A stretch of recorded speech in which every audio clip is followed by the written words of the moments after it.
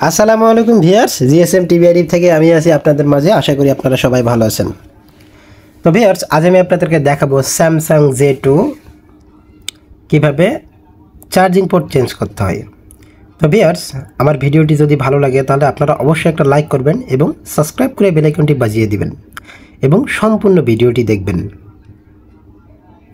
তো দেখুন, আমি সমস্ত নাটগুলো খুলে নিচ্ছি। সুন্দরভাবে আপনারা নাটগুলো খুলে নেবেন।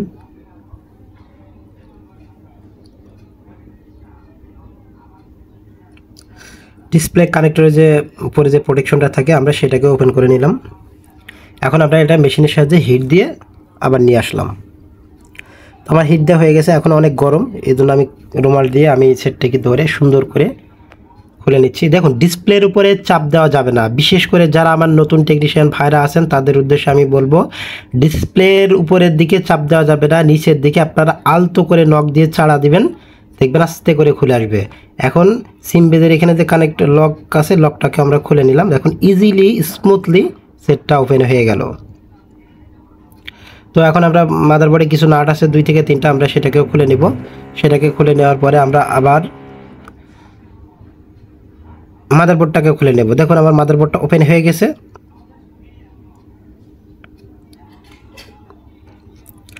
তো এখন আমরা একটা ফ্রেমের সাহায্যে আমরা এটাকে আটকিয়ে নেব যাতে আমাদের চার্জিং পোর্টটা খোলা সুবিধা হয়।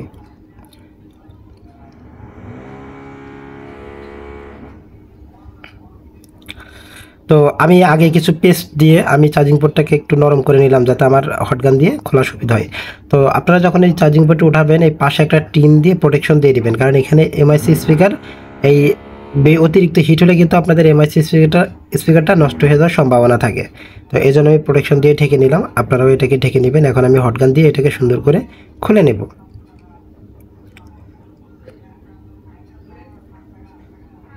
দেখুন কত স্মুথলি আমার রাঙগুলো গলে যাচ্ছে। কারণ আমি আগেই সোল্ডারিং আয়রন দিয়ে এটাকে নরম করে নিয়েছি। দেখুন, এটা এখন খুলে ফেলব আমি। দেখুন ইজিলি খুলে গেল। যারা আমার নতুন টেকনিশিয়ান ভাইরা আছেন, তারা আমি তাদেরকে উদ্দেশ্য করে আবারও বলব, আপনারা আমার সম্পূর্ণ ভিডিওটি দেখবেন, আমার ভিডিওটি স্কিপ করবেন না।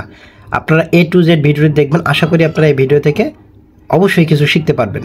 কারণ আপনি যে শুধু চার্জিং পোর্ট চেঞ্জ করা বলেই যে আপনি স্কিপ করে চলে যাবেন, না।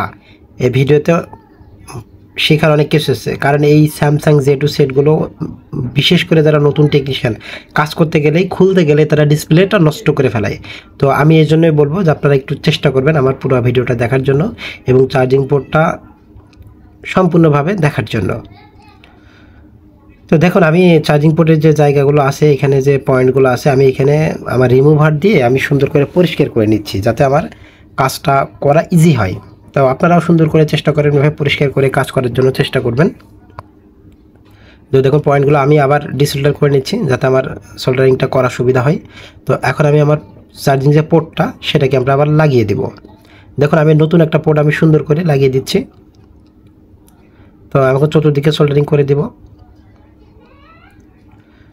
দেখুন, আমি সোল্ডারিং করে দিচ্ছি। তো আপনারা সোল্ডারিং করার সময় অবশ্যই মাথায় রাখবেন, আপনাদের এই ডান সাইডেই কিন্তু আপনাদের হচ্ছে এমআইসি স্পিকার আছে, অতএব আপনারা এত পরিমাণ হিট দিবেন না যাতে আপনার এমআইসি স্পিকারটা নষ্ট হয়ে যায়। আলতো করে হিট দিবেন, হাতের ইশারায় কাজ করে চলে আসবেন। তো দেখুন, আমার মেন যে পয়েন্টগুলো এগুলো সোল্ডারিং করা হয়ে গেছে। এখন আমি সামনের যে পয়েন্টগুলো ফ্রন্ট পয়েন্টগুলো আমি ছোট ছোট যে পয়েন্টগুলো আমি এগুলোকে সোল্ডারিং করব। আপনারা আমার সাথেই থাকুন।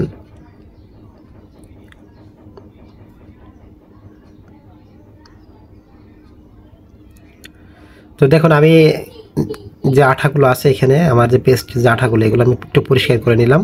আর সুন্দর করে আমি আবার সোল্ডারিং করে দিব। তো দেখুন, আমার যে ফ্রন্ট যে পিন কানেকশনগুলো আমি এটাকে সুন্দর করে সোল্ডারিং করে দিচ্ছি। এখন আমি ব্রাশ দিয়ে সুন্দর করে পরিষ্কার করে দিব। তো ব্রাশ দিয়ে পরিষ্কার করে দিলে জিনিসটা আমাদের প্রোটেকশনটা ভালো থাকবে এবং জিনিসটা সুন্দর দেখা যাবে।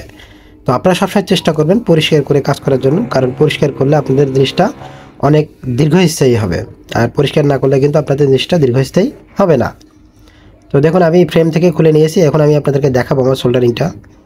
তো দেখুন, আমার সোল্ডারিংটা একদম সুন্দর মতো লেগে গেছে। তো আমি এখন এটাকে বডিতে ফিটিং করে দিব। তার আগে ফিটিং করার আগে আমাদের ক্যামেরা বাদ বাকি যে সেট আছে, আমরা এটাকে কানেকশন করে দেব। তো দেখুন, আমাদের ক্যামেরাগুলো লাগানো হয়ে গেছে।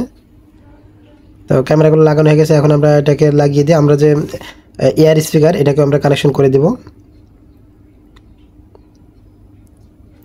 তো মাদারবোর্ডে আমাদের তিনটা নাট থাকে, আমরা নাটটাকেও লাগিয়ে দিয়েছি। এখন আমরা এটাকে ফিটিং করে দেব।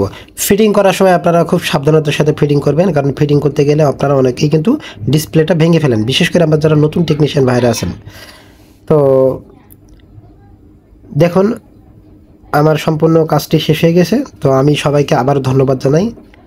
সবাই ভালো থাকবেন, সুস্থ থাকবেন এবং সবশেষে আমি আবারও বলব, আপনারা সবাই নিজের প্রতি খেয়াল রাখবেন, পরিবারের প্রতি দায়িত্বশীল হবেন, আপনার বাবা মার খেয়াল রাখবেন এবং সর্বদা চেষ্টা করবেন সৎভাবে থাকার জন্য। তো সবাইকে ধন্যবাদ, আসসালামু আলাইকুম রহমতুল্লাহ। সবাই ভালো থাকবেন, সুস্থ থাকবেন। আল্লাহ হাফেজ।